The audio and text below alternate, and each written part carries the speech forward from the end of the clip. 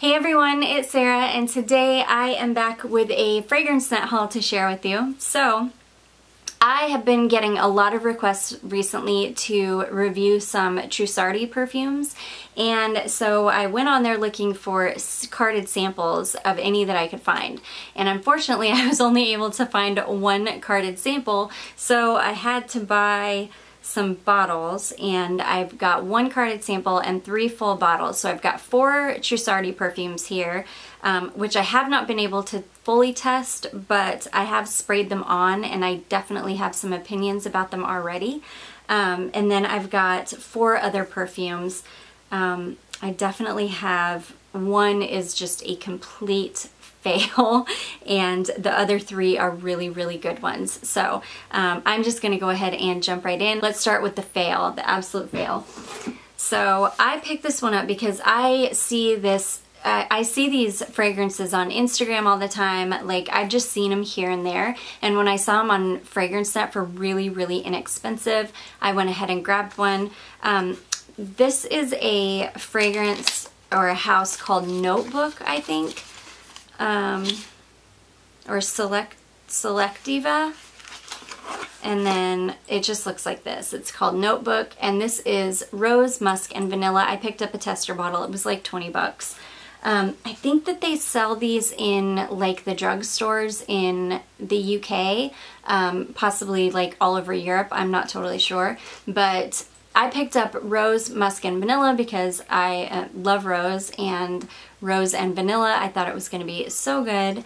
Um, boy, was I disappointed. This was a total scrubber for me. I sprayed this on and it uh, made me nauseous. It gave me a headache and I had to scrub it off. Um, something about this reminds me that, of the smell of flea medicine like that I put on my dogs. It's so, so bad. I really, if this is one of your favorite fragrances, I am so sorry. I do not mean to offend anybody, but I really, really hated this. This is Bergamot, Sweet Orange, Rose, Lily of the Valley, Jasmine, Palisander Rosewood, Vanilla, Amber, Tonka Bean, and White Musk. This smells synthetic and just not good. Like I won't even spray it in the air because I don't want to smell it. And just smelling it out of the bottle is kind of giving me a headache. It's just so, so bad. It's like, it's just not good at all. I would not recommend this one. If any of you guys have tried any of these fragrances from this brand notebook, like any good ones, um, definitely let me know because they do, I think they've got most of them on Fragrancenet and I would be interested in trying more if there are good ones out there but this one is not good at all. So anyways that is note notebook rose musk and vanilla. The next one I picked up is another rose perfume and I had better luck with this one. This is Rochas and this is a Secret de Rochas Rose Intense. And I picked this up just because it's a rose perfume. I also picked it up because I love the color of the liquid. It really reminds me of my Yves Rocher um, rose perfume. Oh gosh. And it smells like it too. Oh, this is such a pretty perfume. So Rochas, this is uh, passion fruit, peach, red rose, rose leaf, osmanthus, amber, moss, patchouli, and musk. This is so pretty. It's it's like a rich um, rose fragrance, but you, the musk is definitely present. But it's not like overly musk. It's not a cheap smelling musk. I don't really, I don't get any peach. If I did, I wouldn't like it because I really don't like peach, but, um, or unless it's done really well. I can smell the passion fruit just a little bit, but it's more of like a tart passion fruit. It's not like a ripe smelling passion fruit. Mmm. This is a good one. I'm really excited to test this one out. I haven't tested this one on the skin yet, but I'm really excited to. So anyways, that is Secret de Rochas Rose Intense. Okay, the next one I picked up is one that has been on my list to pick up for a while. Um, I finally came across this in a one ounce bottle, which I was so happy to see because I did not want a big, huge bottle of this. This is Jean Paul Gaultier Scandal, and you'll see I picked up another um, Jean Paul Gaultier fragrance, which is what reminded me to go ahead and pick this one up. And I really like Scandal. This is, and I love that it just has the little legs hanging off the side instead of like sticking up out of the bottle. I just think it's super cute, super cute little bottle. Ugh, this is such a pretty fragrance. It definitely smells like a Jean Paul Gaultier fragrance. Oh gosh, it's so good. This is like honey and orange blossom. Mm, it's syrupy. So this is blood orange, honey, patchouli, gardenia, and deep woody undertones. It is sweet and syrupy ugh, and just good smelling. This is one that I'm sure is going to get compliments because people like fragrances that smell like this. Ugh, it's just a good one. So I'm so glad that, to finally have this one in my collection. I've wanted it for so long.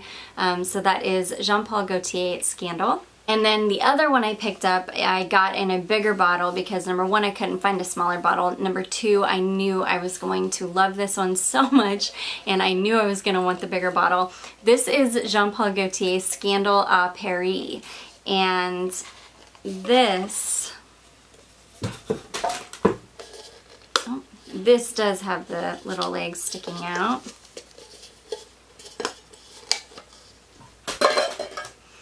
And I love this one because the liquid is this really pretty light pink shade, which really matches the fragrance. Oh, this is so, so pretty. So as soon as I saw that this had, pear, it's only got three notes. This is a very simple fragrance. And as soon as I saw that pear was one of the three notes, just like it's one of the only three notes in La Belle, I knew that this was probably going to smell like a cross between La Belle and Scandal, and I was not wrong about that.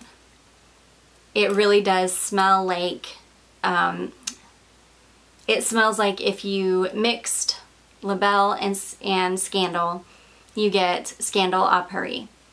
Um, this one is definitely not as complex as it's got the simplicity of La Belle and it's not as complex as Scandal, but it's got the richness of Scandal, if that makes any sense. Like it's still beautiful and syrupy and sweet. It's not as light as La Belle. And the pear note is more of like a honeyed pear rather than a fresh pear. It's just really, really beautiful. I love this. I'm glad I got the, the big bottle of this one because um, I knew when I saw the notes I was going to love it. So this is pear, jasmine, and honey, and that's it. Really, really beautiful. I think that if you like La Belle, if you like Scandal, you will really, really like this one because like I say, it's as if uh, those two perfumes had a baby and this is what came out. So Ah, so good. So that is Jean-Paul Gaultier Scandal à Paris. Let's move on to the Trussardi perfumes. The first one I picked up, I just picked this up because I was browsing them and this one looked interesting to me. This one is considered a unisex fragrance and this is called Trussardi The Black Rose.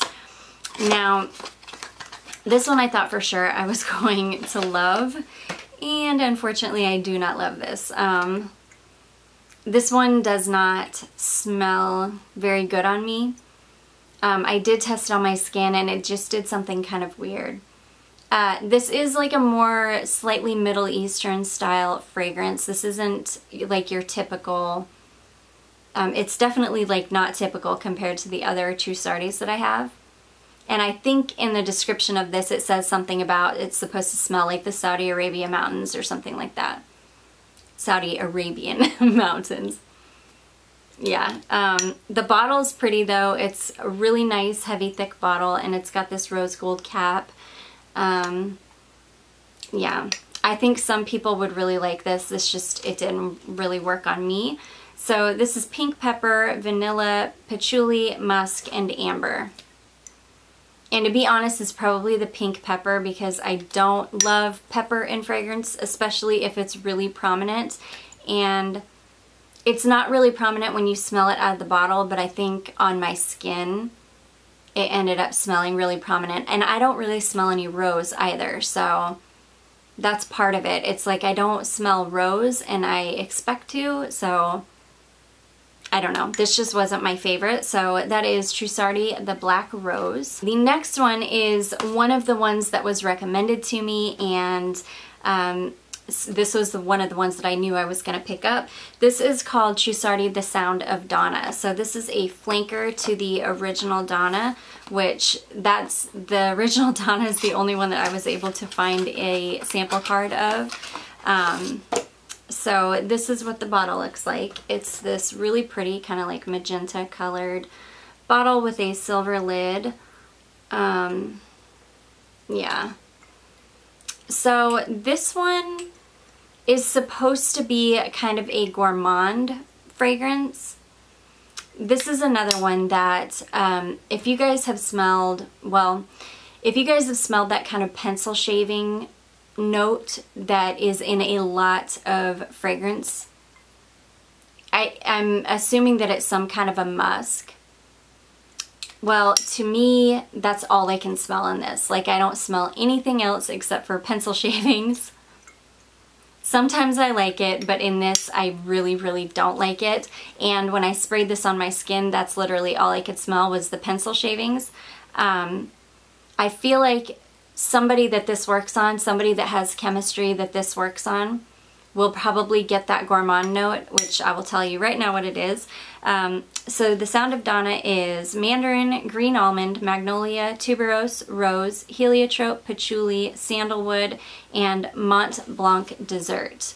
Um, and I think that somebody who whose chemistry really works with this perfume will probably really be able to smell that Mont Blanc dessert note which I can smell it slightly in the bottle, but even in the bottle, all I smell is pencil shavings. And then when I sprayed this on my skin, all I could smell was pencil shavings. Like I couldn't smell any like green almond or heliotrope or rose. I really don't smell any rose at all.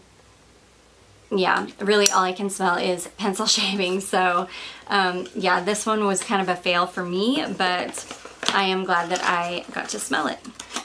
So that is Trussardi Sound of Donna. Next one I picked up, um, this is one that has been recommended to me a couple times ever since I've been talking a lot about rose perfumes, and this is Trussardi Delicate Rose. Um, I've had a lot of people tell me that this is a really pretty rose fragrance. I am glad that I was able to get it in a smaller bottle. Um, oh, this is such a pretty, pretty fragrance. This is exactly like the name says. It is a beautiful, delicate rose smell. It's got a greenness to it, so it's like the petals and the stem. Ugh, it's good. It smells, it smells like it's really good quality. Um, so delicate roses, bamboo, kumquat, yuzu, rose, white jasmine, lotus flowers, apple, cedar, sandalwood, blonde wood, and musk. So it is the bamboo and the lotus flowers mixing with the rose that make it more of like a watery green rose. It's really, really pretty. It's more sophisticated. It's not like a sweet, um, it's not like one of those sweet fruity roses. Like there's just so many of those out there. This is more of a like more sophisticated, uh, watery green rose. Ugh, it's really, really nice. This is one of my favorite ones that I got. Um, so that is Trussardi Delicate Rose. And then last but not least is the sample card I was able to get and this is just the regular Trussardi Donna and I am sad that I didn't get a full bottle of this because of all of them this one and the Delicate Rose were my favorites.